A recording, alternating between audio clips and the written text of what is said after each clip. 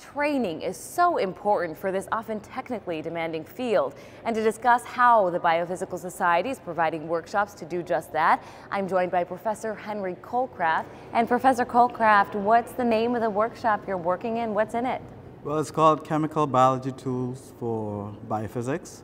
And we have five speakers in there who will be talking about various aspects of chemical biology and protein engineering as applied to molecular and cellular um, biophysics and protein structure function. And who should come to this session? Everyone. This is a general talk or general discussions that will be useful for everybody interested in molecular and cellular biophysics as it relates to protein structure function. So I think it will be very interesting for um, protein bio biophysicists because they can learn new tools to apply to their own questions. And just to reiterate, why is a workshop like this so useful? Why, why should people come out? Well, for every field, it's very important to get new tools and new strategies to answer questions that otherwise would be impenetrable. And this sort of um, workshop is very important for people to come in, learn about new things that they can apply to their own proteins of interest and ask questions in, in ways that they probably haven't thought of before. All right, well, thank you so much, Professor Colecraft, for your time. We've also got a preview of some of the speakers that's coming up. Let's take a look.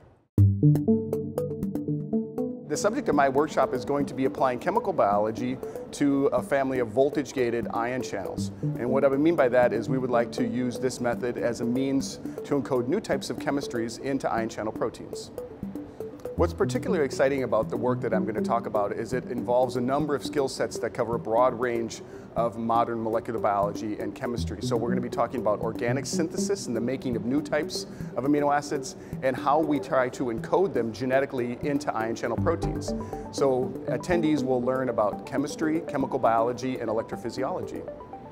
Stephan Pless from the University of Copenhagen, he'll be talking about protein splicing elements known as split inteins and how these can be utilized to introduce synthetic peptides into proteins. We're talking about some technology we've been developing to kind of spy on spider toxins as they interact with proteins, uh, voltage-gated ion channels in the membrane to see what the channels themselves are doing through the, the eyes of a spider. I hope people get the kind of mechanistic idea of what we're working with, as well as a really good idea of the limitations of trying to look at uh, protein conformational change in this way, to, to inspire but kind of ground in reality in terms of uh, what you can get out of this type of technique. Kimberly Beatty from Oregon Health Sciences University will be talking about using genetically encoded tags for fluorescence and electron microscopy.